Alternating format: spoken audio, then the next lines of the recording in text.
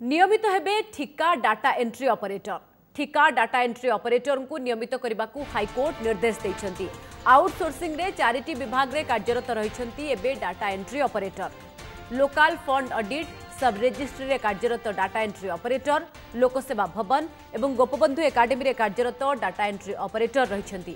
ଏହିସବୁ କାର୍ଯ୍ୟାଳୟରେ କାର୍ଯ୍ୟରତ ଡାଟା ଏଣ୍ଟ୍ରି ଅପରେଟର ତିନି ମାସ ମଧ୍ୟରେ ନିୟମିତ କରିବା ସହ ସମସ୍ତ ସୁବିଧା ଦେବାକୁ କୋର୍ଟ ନିର୍ଦ୍ଦେଶ ଦେଇଛନ୍ତି। ଠିକା କର୍ମଚାରୀଙ୍କୁ ନିୟମିତ ନେଇଥିବା ମାପଦଣ୍ଡରେ ନିୟମିତ କରିବାକୁ ନିର୍ଦ୍ଦେଶନାମାରେ ସ୍ପଷ୍ଟ କରାଯାଇଛି। ଏହାଦ୍ୱାରା ପନ୍ଦରଶହରୁ ଅଧିକ ଠିକା କର୍ମଚାରୀ ଉପକୃତ ହେବେ। ନିୟମିତ ହେବେ ଠିକା ଡାଟା ଏଣ୍ଟ୍ରି ଅପରେଟର ଠିକା ଡାଟା ଏଣ୍ଟ୍ରି ଅପରେଟରଙ୍କୁ ନିୟମିତ କରିବାକୁ ହାଇକୋର୍ଟ ନିର୍ଦ୍ଦେଶ ଦେଇଛନ୍ତି।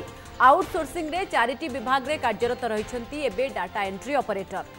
Local fund audit sub ରେଜିଷ୍ଟ୍ରିରେ କାର୍ଯ୍ୟରତ ଡାଟା ଏଣ୍ଟ୍ରି ଅପରେଟର ଲୋକସେବା ଭବନ ଏବଂ ଗୋପବନ୍ଧୁ ଏକାଡେମୀରେ କାର୍ଯ୍ୟରତ ଡାଟା ଏଣ୍ଟ୍ରି ଅପରେଟର ରହିଛନ୍ତି। ଏହିସବୁ କାର୍ଯ୍ୟାଳୟରେ କାର୍ଯ୍ୟରତ ଡାଟା ଏଣ୍ଟ୍ରି ଅପରେଟର ତିନି ମାସ ମଧ୍ୟରେ ନିୟମିତ କରିବା ସହ ସମସ୍ତ ସୁବିଧା ଦେବାକୁ କୋର୍ଟ ନିର୍ଦ୍ଦେଶ ଦେଇଛନ୍ତି। ଠିକା କର୍ମଚାରୀଙ୍କୁ ନିୟମିତ ନେଇଥିବା ମାପଦଣ୍ଡରେ ନିୟମିତ କରିବାକୁ ନିର୍ଦ୍ଦେଶନାମାରେ ସ୍ପଷ୍ଟ କରାଯାଇଛି। ଏହାଦ୍ୱାରା ପନ୍ଦରଶହରୁ ଅଧିକ ଠିକା କର୍ମଚାରୀ ଉପକୃତ ହେବେ।